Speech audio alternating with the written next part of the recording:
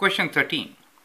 Given that cosecant b equals to minus secant 3 pi by 5 and b lies in first quadrant, determine the measure of b to two decimal places. Well, I'll show you solution of this problem in two different ways. So one will be kind of graphical way of doing it. The other will be algebraic method, okay? So this is my graphical method of doing, which is kind of unique. So let us analyze this situation.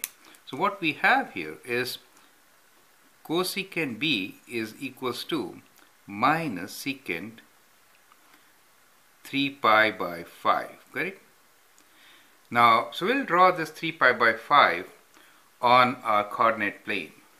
Now, you know, 3 pi by 5 means that this pi is divided into 5 portions. Now, dividing 5 portions actually does not include, so like we get 2 and a half here and 2 and a half there, right? So that is how you can divide this first top half into 5 portions. So for me, it is better to write this as minus secant. So I'll multiply both by 2 and write this as 6 pi by 10. It is the same thing, right? But that gives me a flexibility. 6 pi by 10. 6 pi by 10 means that now we are dividing it into 10 parts and picking up the sixth one. 3 pi by 10 was dividing into five parts, picking up the third one, right? But that's kind of an odd number, kind of difficult to divide your semicircle into five parts. 10 is kind of easy, right? I'll show you how. Dividing it into 10 means 5 in quadrant 1 and 5 in quadrant 2. So let's straight draw our lines. So 1, 2, 3, 4 and this becomes the fifth one. Do you see? So 5, correct? Sometimes what you can do is you can put 5 points and then join, right? So you can say 1, 2, 3, 4 and this becomes the fifth point, correct? So when we say 6 pi by 10, that means each is pi by 10 now, correct? And we are going to the sixth one. So this is my sixth one. Do you see that? That's why I left it like this. 6 pi by 10. Now, each small thing for me is pi by 10 now, correct? So this is 1 pi by 10, 2 pi by 10. 2 pi by 10 is as good as pi by 5, correct? You can say 1 pi by 5, 2 pi by 5, and that becomes your 3 pi by 5, right? So this is for my students to understand how to deal with radians, right? Because it is their first chapter on radians.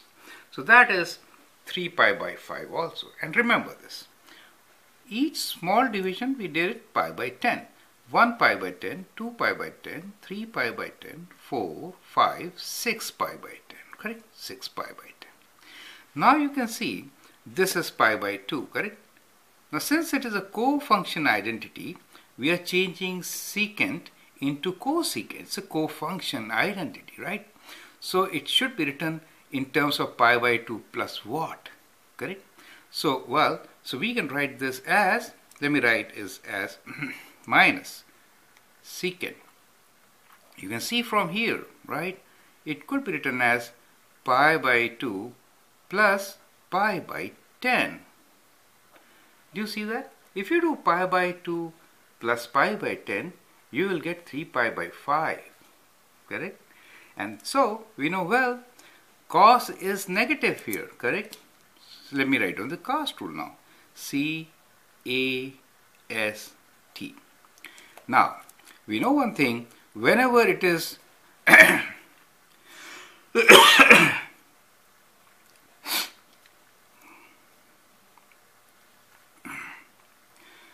So we know one thing, whenever it is pi by 2 plus theta or pi by 2 minus theta is a co-function identity secant will change to cosecant, sine will change to cos, cos will change to sine, tan to cot, like that, correct? Of the angle, which is theta, correct? So this will become equal to cosecant of pi by 10, right? Why with a plus sign? Because sine is positive in this quadrant, but cos was negative. Do you see? Cos was negative. So negative of negative makes it plus. Do you see that? That is why you get this as plus. And that was a graphical way of getting the acute angle B, right? So angle B for us is pi by 10 and that is how we get it graphically, right? Now let me show you how to do this algebraically, correct?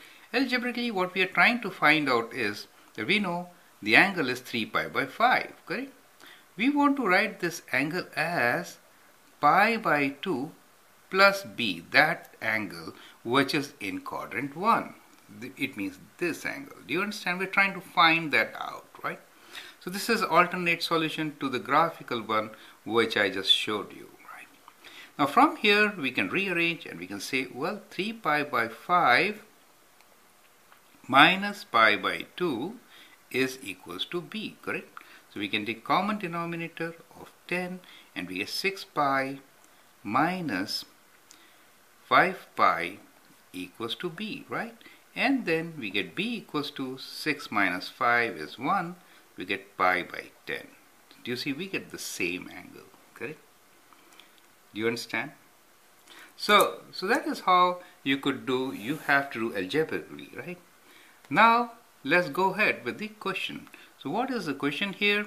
We are given that cosecant b equals to this, right? So what is b? This is what we want to find. So we know, we can write this starting from the right side, secant of 3 pi by 5 is actually equals to minus secant of, instead of 3 pi by 5, now I can write pi by 2 plus pi by 10, since b is pi by 10, correct? So I'll write this as pi by 2 plus pi by 10, correct? And that is equals to secant in this will be negative, but negative of negative is positive, right? Because we are writing in terms of the related acute angle where everything is positive. You see? Positive of cosecant pi by 10, correct? Since it is given, this is equal to cosecant b that means b is equals to pi by 10. So we get our same answer as pi by 10. Now the second part is to find the value of cosecant b to two decimal places. So for that we can use calculator in radians, correct? So, so we want to find what is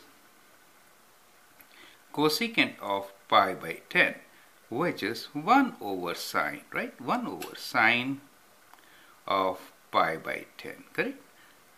So that is because calculators will not have cosecant, they will have sine, correct?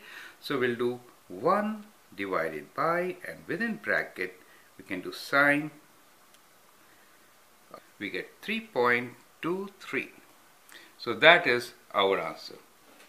3.23 to two decimal places, right? And therefore, so we have b equals to pi by 10 and cosecant pi by 10 is equals to 3.23 correct? That is our answer. Thank you